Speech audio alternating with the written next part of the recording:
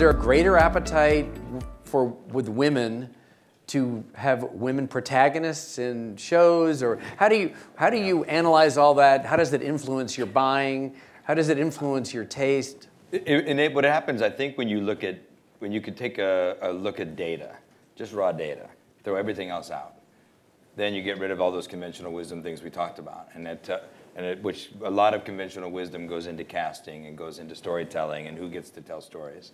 And what we see over and over again, you see a character like like Claire Underwood, um, that that women can carry a show enorm- with, with enormous regularity. Uh. People want to see, people want television to look like them. They want television to look like the world.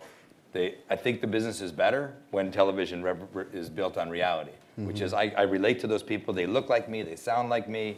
I know exactly who that person is. I've, that, that was my college roommate. I know that person.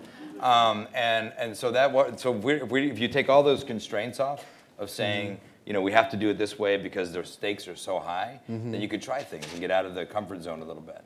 And you know, between Jessica Jones and Orange Is the New Black, and I mean, we have, I mean, we, people, Netflix is like the home of kick-ass women. Those characters yeah. are, um, are defy any kind of normal television uh, casting, or certainly any writing for television.